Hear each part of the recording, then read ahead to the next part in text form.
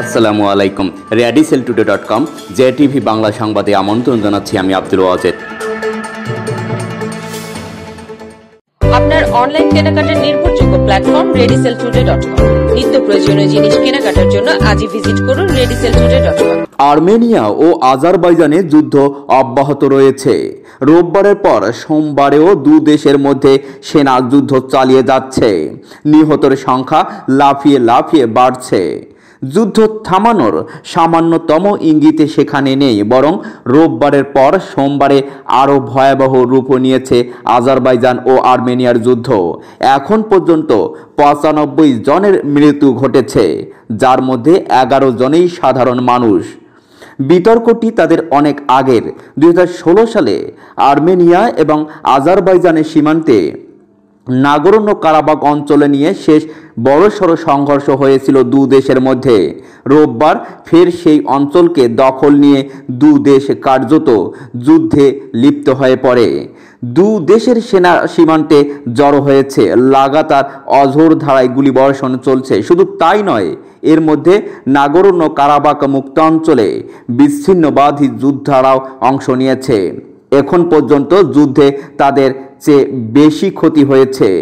যোদ্ধাদের সূত্রে জানিয়েছে, শুধুমাত্র সোমবারের লড়াইয়ে তাদের ছাব্বিশ জনের বেশি মৃত্যু ঘটেছে। রোববার এবং সোমবার মিলিয়ে নিহত হয়েছে চুরাশি জন। সাবেক দুই সোভিয়েত রাষ্ট্র, আর্মেনিয়া, আজারবাইজান, সোভিয়েত ইউনিয়নের ভিতরেই দুইটি অঞ্চল ছিল। সোভিয়েতের পতনের পর এই দুটি আলাদা রাষ্ট্র হয়ে যায়। কিন্তু সীমান্তে নাগরণ কারাবাগ অঞ্চল নিয়ে দীর্ঘদিন ধরে তাদের মধ্যে বিতর্ক চলে আসছে। আজারবাইজানের অভিযোগ বেআইনিভাবে ওই অঞ্চল দখলে রেখেছে আর্মেনিয়া। আর্মেনিয়ার বক্তব্য নাগর্ণ কারাবাক মুক্ত অঞ্চল। বিচ্ছিন্নবাদীদের দখলে রয়েছে ওই এলাকাটি। দুই সালে এই নিয়ে কার্যত যুদ্ধ শুরু হয়েছিল দুটি দেশের মধ্যে। তবে রোববার থেকে সেই সংঘর্ষ অনেক ভয়াবহ আকার রূপ নিয়েছে। তা অতীতের সমস্ত সংঘাতকে ছাপিয়ে গিয়েছে। নিচ্ছি বিজ্ঞাপন বিরতি।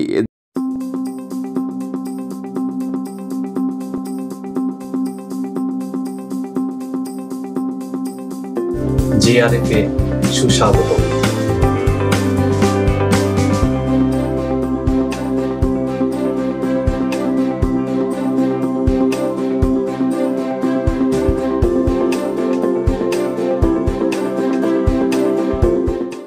আর্মেনিয়া এবং আজারবাইজান দুটি দেশের মার্শাল আইন চালু হয়েছে, অর্থাৎ যুদ্ধ পরিস্থিতির জন্য সেনারা বিশেষ আইন বলবত রয়েছে।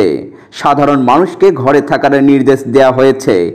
জাতিসংঘ অবশ্য এ যুদ্ধের বন্ধের জন্য আহ্বান জানিয়ে আছে পরিস্থিতি বিবেচনা করে নিরাপত্তা পরিষদের বিশেষ বৈঠক ডাকা হয়েছে। মূলত ফ্রান্স এবং জার্মানির আবেদনের ভিত্তিতে এ বৈঠক ডাকা হয়েছে। তবে নিরাপত্তা পরিষদ জানিয়েছে, বন্ধ ঘরে এ বৈঠক হবে। সকলকে শুনতে দেয়া হবে না।